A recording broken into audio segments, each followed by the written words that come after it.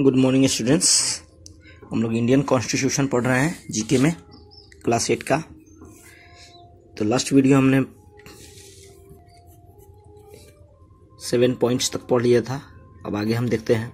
Our constitution maker took inspiration from various other constitution while drafting the one of our country which is why the Indian constitution is called often called a bag of borrowing यानी कि जो हमारा constitution जो बन रहा था तो हमारे जो कॉन्स्टिट्यूशन बनाने वाले मेंबर्स जो थे, वो बहुत सारे जो इंस्पिरेशन है वो अदर जो कॉन्स्टिट्यूशन था, दूसरे दूसरे देशों के जो संविधान थे, उनसे उन बहुत ही इंस्पिरेशन लिया और उसके अंदर जो जो अच्छी चीज़ें थी, उसको अपने अंदर शामिल कर लिया था।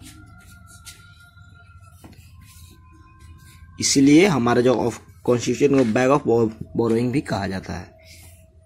The concept of five year plan यानी F Y P was taken from the former USSR USSR जो है, जिसे, जिसको सोवियत संघ भी कहा जाता था, ठीक है? Union of Soviet Socialist Republics USSR का फुल फॉर्म होता है. And directive principle social economy rights were taken from Ireland जो फाइव ईयर जो प्लान है, वो कहाँ से? सोवियत संघ से लिया गया था और जो डायरेक्टिव प्रिंसिपल है, जिसको सोशल और इकोनॉमिक राइट्स है यानी सामाजिक और आर्थिक जो अधिकार है, वो किससे लिया गया है? आयरलैंड से लिया गया है। ठीक है? The ideals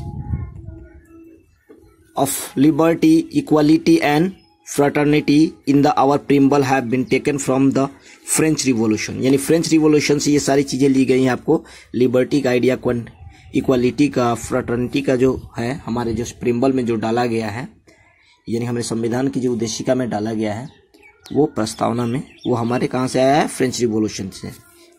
जिसको फ्रेंच मोटो भी कहा जाता है, ठीक है ना? जिसको क्या कहते हैं हम? French motto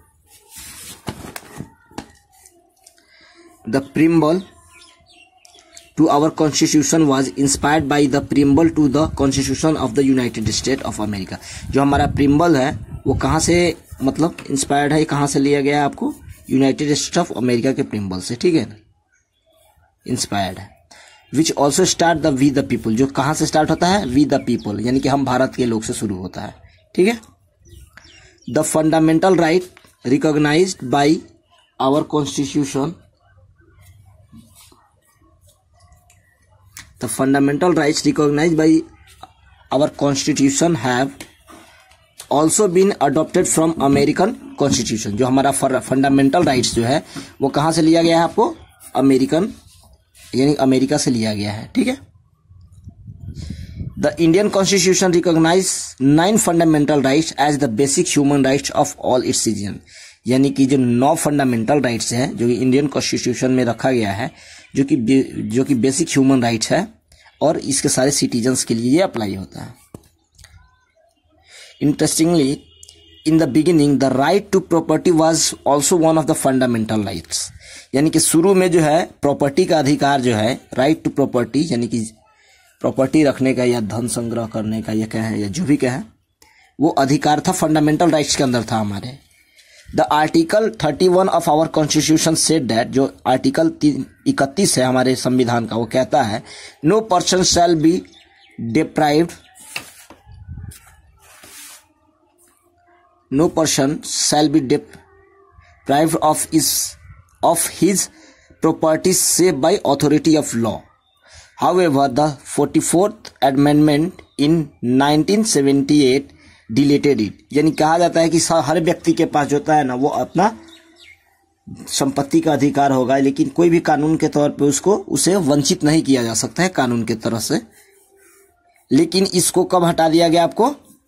जो चौवालीस मैंने 44 जो अमेंडमेंट था, यानी चौवालीसवा जो संशोधन था, जो कब हुआ था? 1978 में उसको डिलीट कर दिया गया। यानी कि आप प्रॉपर्टी का जो अधिकार जो है, आपको, आपके फंडामेंटल राइट्स में नहीं आता है। The Indian constitution has also been held one of the world biggest world best constitution because with sixty seven year of its adoption it has been amended only 101 यानी कि 101 times till 1 July 2017 जो Indian constitution जो है, वो दुनिया भर के जितने भी कॉन्स्टिट्यूशन है जितने भी संविधान है सब में बेस्ट माना जाता है, क्योंकि यानी कि दो तक की बात हो रही है, सड़सठ सालों में सिर्फ़ 101 बार ही इसके अंदर संशोधन हो पाया है। यानी सड़सठ सालों में सिर्फ़ 101 बार संशोधन होने का मतलब है कि ये बहुत ही अच्छा संविधान है। दुनिया का बेस्ट संविधानों में से एक है।